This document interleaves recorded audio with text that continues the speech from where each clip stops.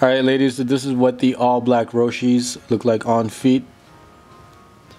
We are filming in HD, so switch your settings to 1080p to get a better look at the shoe. Alright ladies, so this is what the all black Roshes look like on feet.